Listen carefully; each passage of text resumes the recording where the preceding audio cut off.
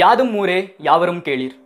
இதோட அர்த்தம் என்ன அப்படிங்கறத பாத்தீங்கன்னா whole world is my country and everyone is my kith and kin எல்லாருமே என்னோட சொந்தக்காரங்க அப்படின்னு வந்து கணியன் பூங்குன்றனார் கிட்டத்தட்ட ரெண்டாயிரம் வருஷத்துக்கு முன்னாடி ரெண்டாயிரத்தி முந்நூறு வருஷத்துக்கு முன்னாடி வந்து சங்க காலத்து தமிழ்ல வந்து எழுதி வச்சிருக்காரு.